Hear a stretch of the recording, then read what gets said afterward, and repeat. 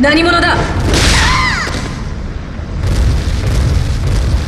お前はもしやお待ちくださいオーダーイン王誰かあの御人をお止めしろ。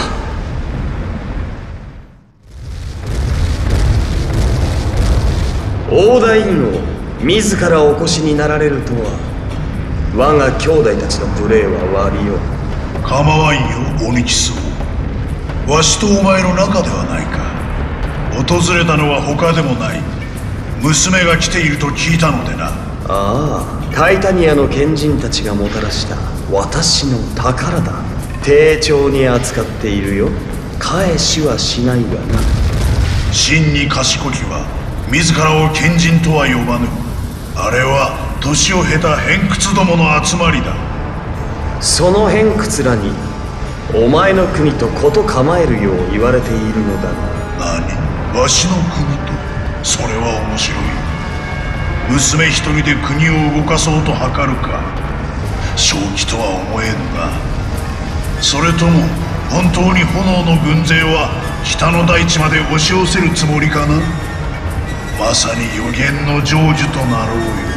食えぬ男だな。だがグエンドリン姫はお前の娘とは思えぬ清らかさだ。炎と同じにこの胸を熱くさせる。滅んでゆく世界をお前の娘と共にほくそ笑みながら見守るのもいい。わしよりも長く生きていながらそのように青臭いことを言い放つとは情け容赦なく全てを灰とする炎の王とは思えぬ言葉よ。俺も思いもよらなんだ魔王ともあろう者が娘を心配してこの因縁の地に降り立つとは心地よいそこまで大事な娘がお前のかけた魔法で私の手に入る。魔法の眠りの話を知っておったか？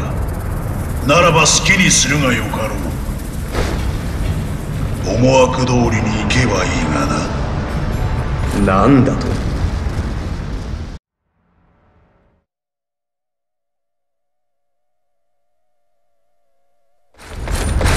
グエンドリン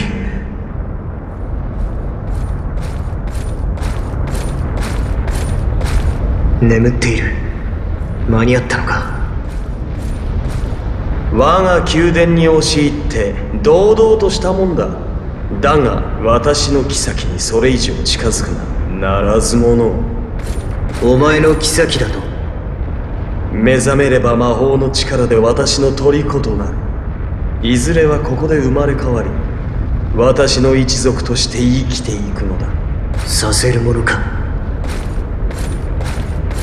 大地を流れる熱脈の主のこのオニキスの花嫁となるのだ。魔王の娘なら我が権力にも見合う。彼女にとっても喜ばしきことだろう。オーダインといい権力者というのは実に勝手なものだな。お前の権力欲を満たす道具だというなら他で見繕え。グエンドリンは返してもらう。白馬の王子を気取ってお姫様を連れ去ろうというのか。それより自分の心配をするがいい。お前の影から漂う死の匂いは私の気分を害させる。死の国でふんぞり返るあの女の匂いだ。前の前にいる炎の国の権力者はとても寛容ではいられない。腹の底から怒りが湧いているんだ。予言に描かれる真の姿をお前に見せてやろう。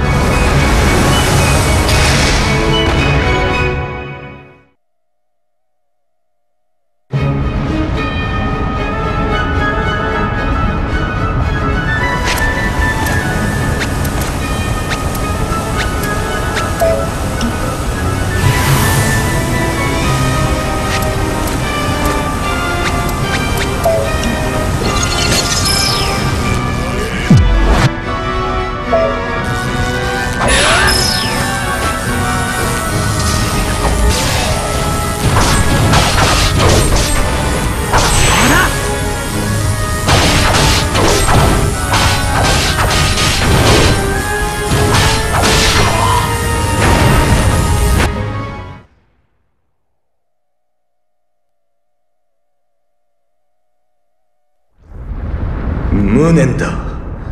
お前に渡すぐらいならいっそのことこの手で。彼女に触れてみろ。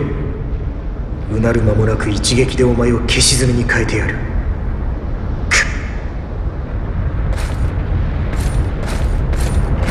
納得できぬ。お前に我らを引き裂く権利などあるものか。卑しい盗賊のように力ずくで奪うのか。私のこの思いの行方はどうしたらいい？恋という好みを焦がす魔物を鎖につなぐなど到底できぬこの胸の苦しみをどうやって耐えろというのか。突然現れた無礼者に宝を奪われどうやって？お前の言葉はそのまま俺の言い分だ。けでも何でもして起こしてみるがいい。だが愛されはしないぞ。彼女は魔法で眠らされただけだ。魔王オーダインがここに来てそう告げた。心を自由にする魔法は最初からかかってなどおらんのだと。お前が彼女を起こさなかったのは心を得られないからなのか。そう。だ目覚めれば飛び去るだろう。ならば眠らせたままこの手の内に置く方がよい。何？そうか。彼女の心は自由にされたりはしないんだ。よかった。炎の王礼節を書いたことは詫びよう。そしてその苦しみに少しでも報いたい。オニキス王が望むなら一度だけ王のために剣を振るおう。俺にできるのはそれだけだ。そんなことで私のメンツを埋め合わせようなどと。もう一つ覚えておいてもらおう。俺の目の黒いうちは彼女に近寄らせはしないぞ。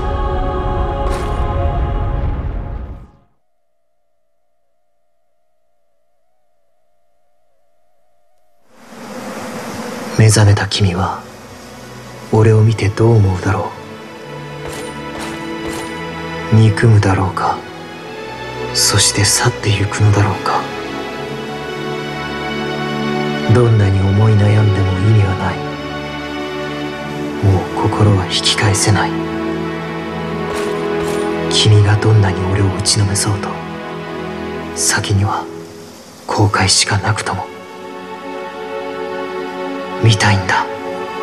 開かれた君の瞳に俺が映るのを聞きたいんだ。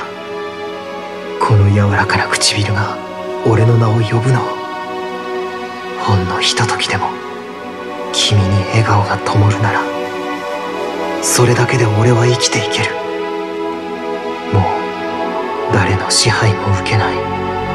これからは俺の意志で君のために。